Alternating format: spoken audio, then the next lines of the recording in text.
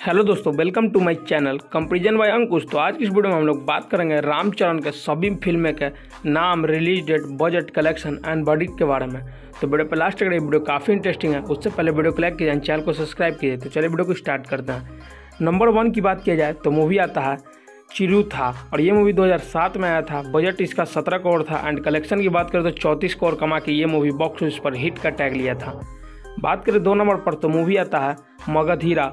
और ये मूवी आता है 2009 में। बजट की बात करें तो 35 करोड़ रहता है एंड कमाई की बात करें तो 150 करोड़ रुपए कमा के बॉक्स ऑफ़िस पर ब्लॉकबस्टर का टैग लेता है। और ये मूवी काफ़ी अच्छा है, मैं पर्सनली आप लोग को बता रहा हूँ, मैं देखा हूँ, आप लोग भी जाके देख सकते हैं। बात करें तीन नंबर पर तो मूवी आता है ऑरेंज और इस मूवी का साल रहता है 2010 एंड बजट रहता है सत्ताईस करोड़ कलेक्शन की बात करें तो 26 करोड़ कमा के फ्लॉप हो जाता है।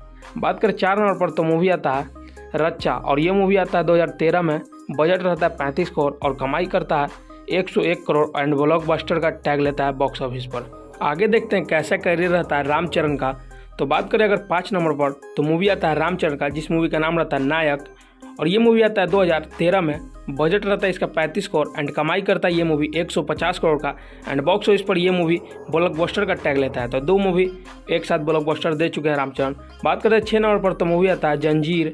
और ये मूवी आता है दो हज़ार तेरह में। बजट रहता है साठ करोड़ कमाई करता है ये मूवी बाईस करोड़ का और बॉक्स ऑफ़िस पर फ्लॉप हो जाता है। तो बात करते हैं अगर सात नंबर की तो मूवी आता है जिसका नाम रहता है यवदू। और ये मूवी आता है 2014 में। बजट रहता है इसका 35 करोड़ एंड कमाई करता है ये मूवी 60 करोड़ का, और बॉक्स ऑफ़िस पर यह मूवी सुपर हिट का टैग लेता है। अब बात करते हैं आठ नंबर पर तो मूवी आता है गोविंदू दो आदरी वडेले, और ये मूवी आता है 2014 में ही। बजट की अगर बात करें तो इस मूवी का बजट रहता है तीस करोड़ एंड कमाई की बात करें तो ये मूवी उनचास करोड़ कमा के बॉक्स ऑफ़िस पर एवरेज का टैग लेता है। अब बात करते हैं आगे कि नौ नंबर पर कौन सा मूवी आता है। तो नौ नंबर पर मूवी आता है जिसका नाम रहता है Bruce Lee the fighter and ये मूवी आता है, बात करें अगर इसका ईयर का तो 2015 में एंड बजट की बात करें तो 35 करोड़ रहता, कमाई ये मूवी 60 करोड़ का करता बॉक्स ऑफ़िस पर सुपर हिट का टैग लेता। अब बात करेंगे 10 नंबर पर तो मूवी आता है जिसका मूवी का नाम रहता है ध्रुवा। और ये मूवी आता है 2016 में बजट की बात करें तो 50 करोड़ रहता है एंड कमाई करता है सतासी करोड़ का बॉक्स ऑफ़िस पर ये मूवी हिट का टैग लेता है।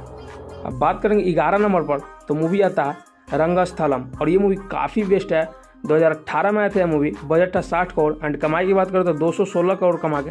बॉक्स ऑफ़िस पर ब्लॉक बस्टर का टैग लिया था और इस मूवी के गाने बहुत ज़्यादा चले थे। आप लोग जाके सुन सकते हैं और फ़िल्म फ़िल्म का स्टोरी बहुत ज़्यादा अच्छा है। मैं पर्सनली देखा हूँ, आप लोग जाके देख सकते हैं। और बात करें बारह नंबर पर तो मूवी आता है विनाया विद्यारामा।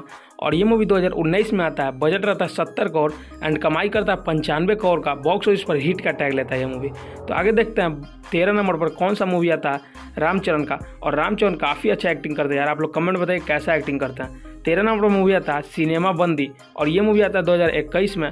बजट रहता है इसका साठ करोड़ एंड कमाई करता है नब्बे करोड़ का। बॉक्स ऑफ़िस पर हिट का टैग लेता है ये मूवी बात करें चौदह नंबर पर तो मूवी आता है आर आर आर मतलब कि तिरपल आर तो ये मूवी 2022 में ही आया इस साल ही। एंड बजट रहता है पाँच सौ पचास करोड़, जो कि काफ़ी ज़्यादा यार, किसी को भी हिम्मत होना चाहिए इतना लगाने के लिए। एंड कमाई करता ग्यारह सौ छत्तीस करोड़, जो कि काफ़ी ज़्यादा कमाई करता है। बजट अपना रिकवर कर लेता। है एंड बॉक्स ऑफ़िस पर ब्लॉक बस्टर का टैग लेता है ये मूवी तो तिरपल आर कौन कौन देखे हैं ये मूवी कमेंट में बताइए। एंड बात करें पंद्रह नंबर पर तो मूवी आता है आचार्य। ईयर का बात करें तो 2022 में ही आया ये मूवी भी। एंड बजट की बात करें तो 140 करोड़ रुपए लगाया। लेकिन इस मूवी का कलेक्शन मात्र छिहत्तर करोड़ रुपए होता है। एंड मूवी फ्लॉप हो जाता है। तो बात करते हैं आगे। कि रामचरण का कौन कौन सा मूवी आने वाला है? मतलब कि अपकमिंग मूवीज़ कौन कौन सा है रामचरण का? तो बात करते हैं एक नंबर पर तो आर सी पंद्रह एंड दो नंबर पर आने वाला है, किसका भाई, किसकी जान? बात करें तीन नंबर पर तो आने वाला है आर सी सोलह एंड चार नंबर पर आने वाला है आर सी सत्रह। तो ये चार मूवी आने वाला है रामचरण का। बात करते हैं सक्सेस रेशियो का तो अस्सी परसेंट है। तो अच्छा या खराब आप लोग कमेंट बताइए। मेरे हिसाब से तो अच्छा है, काफ़ी अच्छा है। बात करें समड़ी का कि रामचरण का कितना मूवी फ्लॉप और कितना हिट तो फ्लॉप मूवी का अगर बात करें तो तीन मूवी फ्लॉप है रामचरण का। वहीं पे एवरेज मूवीज़ का अगर बात किया जाए तो एक मूवीज़ एवरेज है एंड हिट मूवीज़ का बात किया जाए तो रामचरण का चार मूवी हिट है एंड वहीं पे सुपर हिट मूवीज़ का अगर बात किया जाए, दो मूवी सुपर हिट भी दिए हैं रामचरण और वहीं पे बात किया जाए ब्लॉकबस्टर मूवीज़ का तो पाँच मूवी दिए हैं ब्लॉकबस्टर जो किसी के लिए भी देना काफ़ी बड़ी बात है यार, पाँच मूवी ब्लॉकबस्टर तो कौन कौन फ़ैन है रामचरण का कमेंट बताइए। एंड रामचरण का एक फेवरेट मूवी का नाम बता दीजिए आप लोग। कौन सा आप लोग को फेवरेट मूवी लगा रामचरण का? और वीडियो बनाने में काफ़ी टाइम लगता है और मेहनत तो आप लोग देख ही रहे हैं। तो वीडियो को एक लाइक कीजिए। एंड ऐसे वीडियो देखने के चैनल को सब्सक्राइब कीजिए। मिलते हैं नेक्स्ट वीडियो में।